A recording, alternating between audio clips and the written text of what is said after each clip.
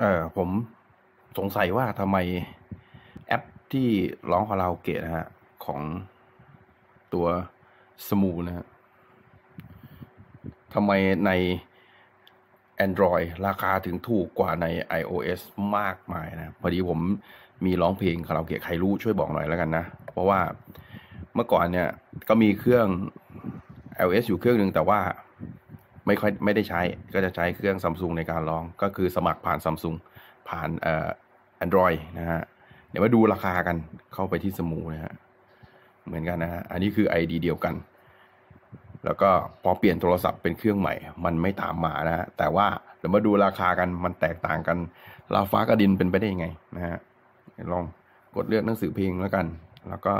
เดี๋ยวเราเราบอกว่าเราจะร้องเพลงเพลงใครสักคนหนึ่งนะฮะอะเนี่ยเมนูมันก็จะมีความแตกต่างกันเล็กน้อยอ่าเรากดร้องเพลงนี่ฮะกดร้องคู่ฮะราคาร้องแบบไม่มีจำกัดนะหนึ่งปีสี่สิบเก้าบาทนะฮะของ Android นะฮะอ่าเรากดของ iOS ร้องฟรีหนึ่งปีฮะพันห้าร้อยี่สิบบาท คิดว่าราคามันมันต่างกันมากมายเราฟ้ากระดินแบบนี้นะฮะ